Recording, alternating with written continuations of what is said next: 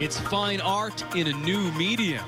How a Toronto artist uses the Nintendo DS to create his works. From the Global Newsroom in Toronto, News Hour Final with Anthony Robart. In the toy art, they say beauty is in the eye of the beholder. Well, one Toronto artist is hoping everyone will see the beauty in his unique creations, artwork that drops traditional tools in favor of video game technology. David Shum has his story.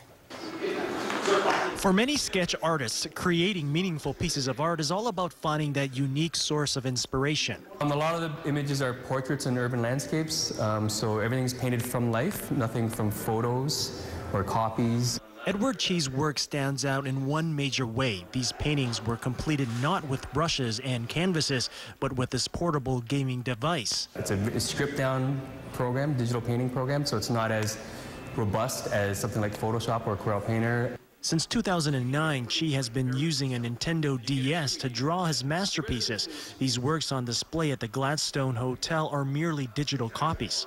For the landscapes, urban landscapes, I would go out, look for something interesting, interesting architecture that I like, and um, yeah, and stand on the street and paint. Some of these sketches can be completed in a matter of minutes. Others can take up to two days.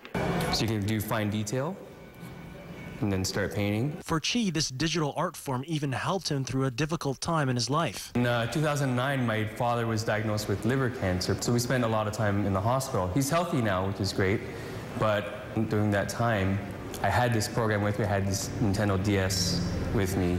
These personal portraits of Chi's father were more than just images.